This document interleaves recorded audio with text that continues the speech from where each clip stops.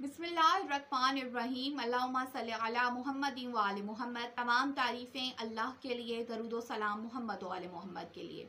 अजीज़ान मोहतरम, आज मैं आपके साथ एक इंतहाई अहम हदीस शेयर करने जा रही हूँ। ये अहम इस हवाले से भी है कि इंसान को अपनी ज़िंदगी का मकसद बताती है और इसलिए भी अहम है क्योंकि ख़ुद इमाम मासूम, इमाम अली रज़ा सलाम ने यह फरमाया कि जो लोग इस हदीस को सुन रहे हैं, उनको चाहिए कि ये उन लोगों तक पहुँचा दें जो इस वक्त यहाँ पर मौजूद नहीं हैं। तो अब आप में से जितने लोग इस हदीस को सुनेंगे, ये आपके ऊपर भी है कि आप इमाम अली रज़ा सलाम के इस फरमान को उन लोगों तक पहुँचाएँ जो इसको नहीं सुन सके हैं। हदीस क्या है? रावी बयान करता है कि एक मरतबा में इमाम अली रज़ा सलाम के पास मौजूद था खुरासान में कि वहाँ पर बनी हाशिम के कुछ अफराद भी मौजूद थे, जिनमें से एक जिनका नाम जनाब इसहाक बिन मूसा बिन ईसा अब्बासी था, वो भी वहाँ पर मौजूद थे।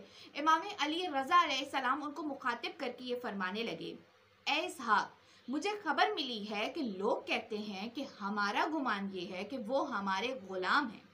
मौला फरमाते हैं, कसम है कराबत रसूल खुदा सल्लल्लाहु अलैहि वसल्लम की, मैंने कभी ऐसा नहीं कहा।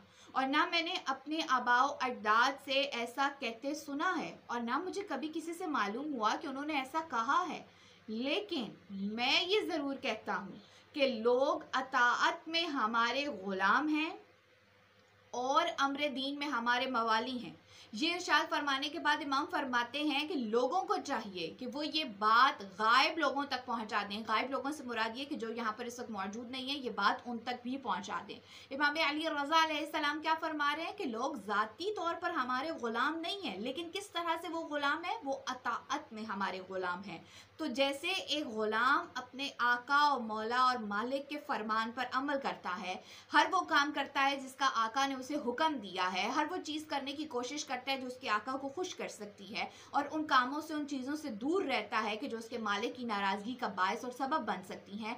बिल्कुल उसी तरह लोगों को भी ये चाहिए कि वो आयमा तहरीन अलैहिस्सलाम जो हजत खुदा के तौर पर हमारे दरमियान मौजूद हैं, हम उनकी अतात करें। मौला फरमाते हैं कि लोग अतात में हमारे ग़ुलाम हैं और जो अमर दीन है, उसमें वो हमारे मवाली हैं। बस हमें भी ये कोशिश करनी चाहिए कि हम ऐसे आमाल सहले को अंजाम दें और उन फरामीन के मुताबिक अपनी ज़िंदगियों को गुजारने की कोशिश करें कि जो मासूमिन अलैहिस्सलाम की रज़ा और खुशनुदी का सबब बन सकते हैं, क्योंकि मासूमिन की रज़ा खुदा वंद आलम की रज़ा और खुशनुदी है। अल्लाह सल मोहम्मद वाल मोहम्मद। वाजिल फ़रज व फ़रज